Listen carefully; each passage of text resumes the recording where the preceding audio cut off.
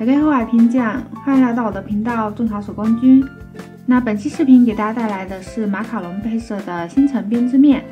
那这里呢，我们的分领款和小球包，它的星辰部分是通用的。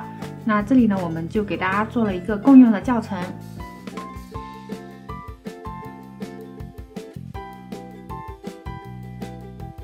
下面我们来看一下轴线上的加线部分。那加线的顺序就是红、橙、黄、绿、蓝、紫六根。那这里面线我已经提前处理好了，对折找到终点，然后用珠针卡在线的终点部分，把线固定好。那下面我们进行加线。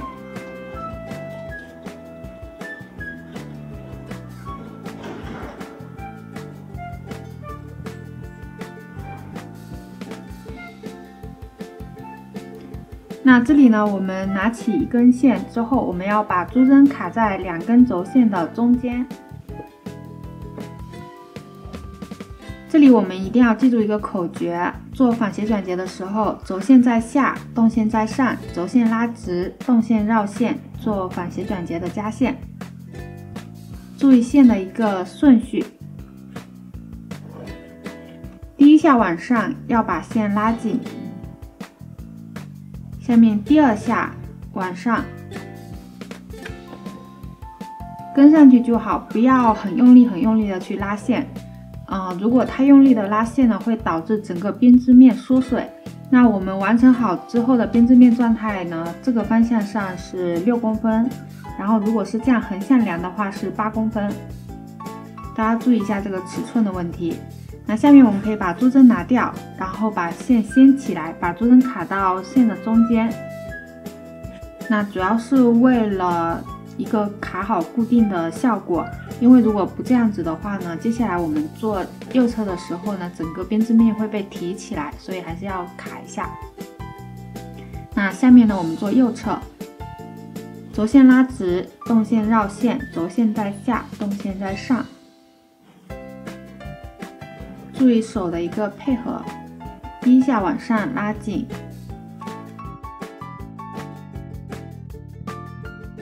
第二下往上收就好了。那这里呢，我们第一根加线就完成了。那接下来呢，继续制作。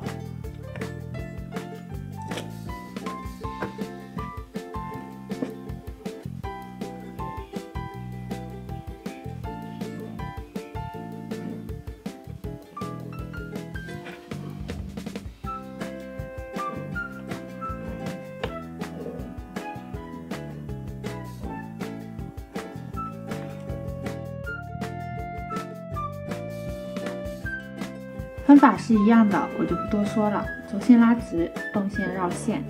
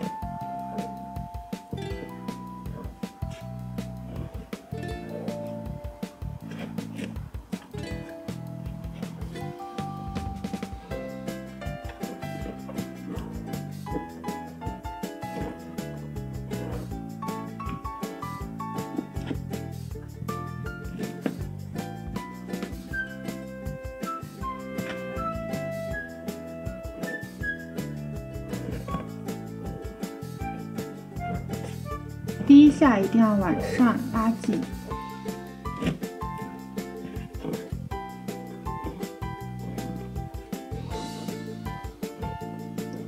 第二下往上跟上就好了。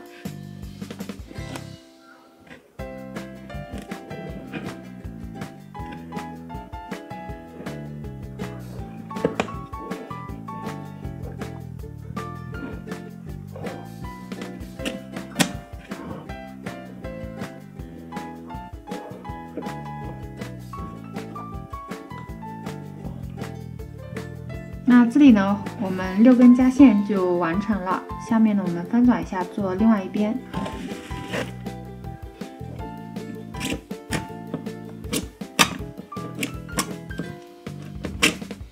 这里呢，我们按顺序拿线就好，拿的是轴线，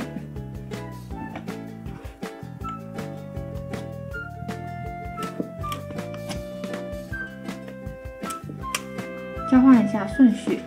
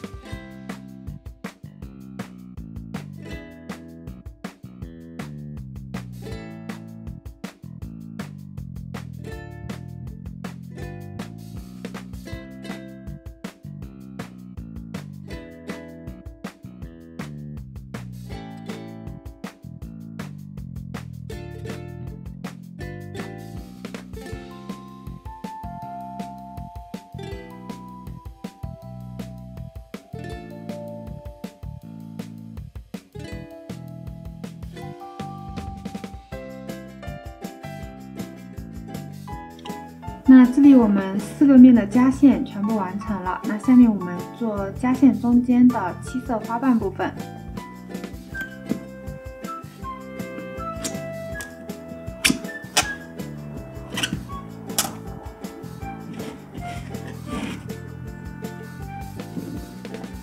这里呢，我们先把接下来要用到的线先挑出来。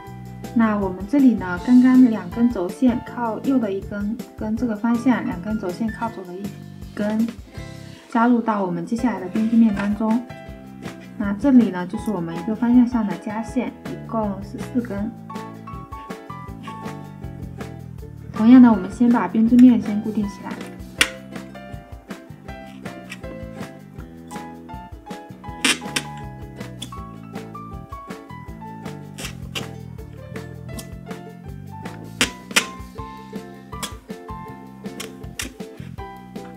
下面呢，我们看一下接下来的制作部分。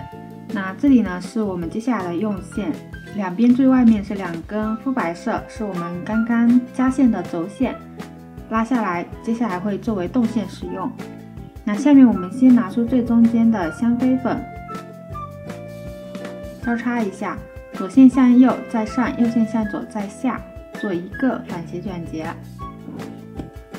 线第一下要拉紧，第二下跟上就可以。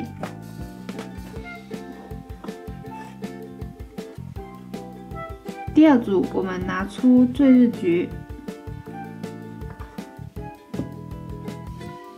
先做左侧，香妃粉在下作为轴线，坠日菊在上作为动线，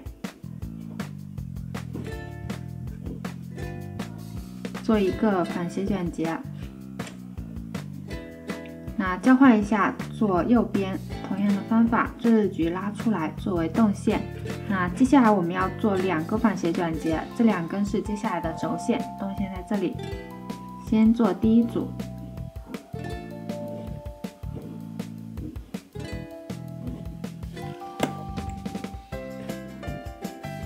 顺着这个方向继续制作。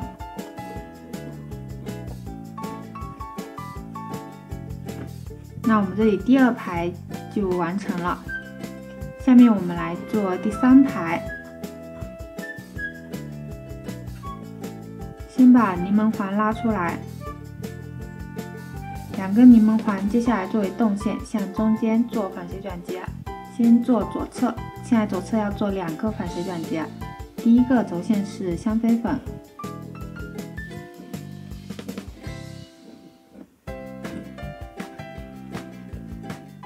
第二根轴线是坠日菊，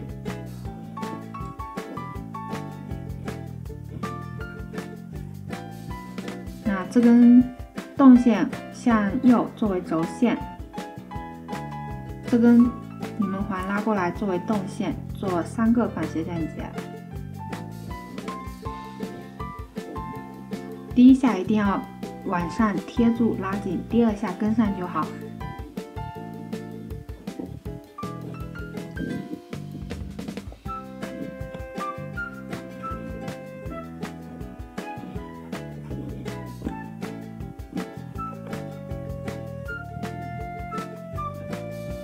第三排完成，下面做第四排，拉出冰绿，这里做三个反斜卷结，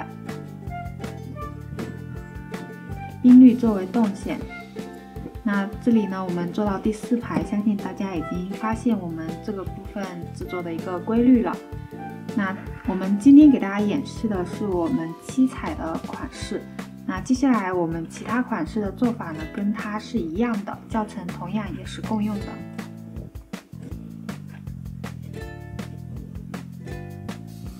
那最主要的就是在最开始加线的部分，我们要把加线的颜色的位置顺序呢做对，那接下来的制作就没有什么太大的问题。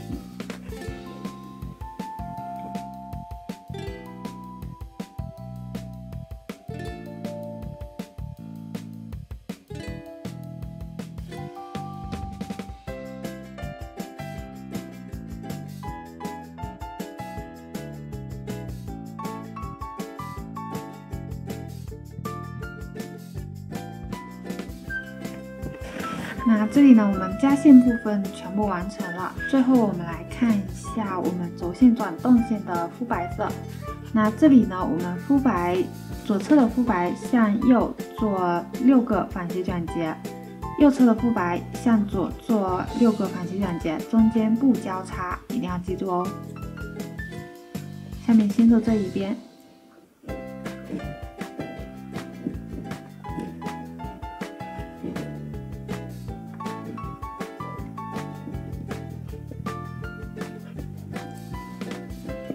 按顺序往上做，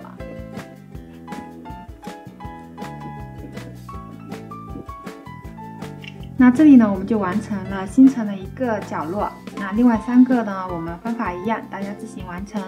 演示的部分我会做的快一点，主要告诉大家它的一个制作流程。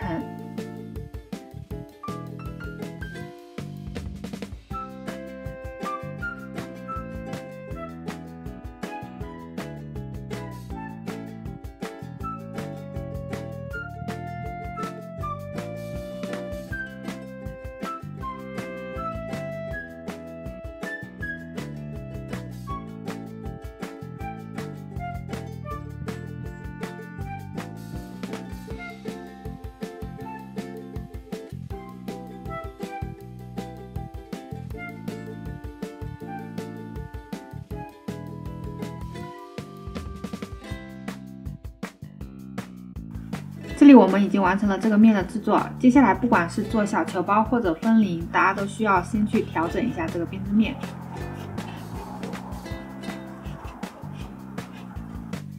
好啦，以上就是我们彩虹马卡龙星辰编织面的全部制作过程。那接下来大家如果是做小球包的话，接下来我们侧面加线的部分教程，大家可以参考报春花的制作。那接下来，如果大家做分领的话呢，手提和连接的部分，我们就接下来继续给大家去做演示。那我们下期再见啦，拜拜。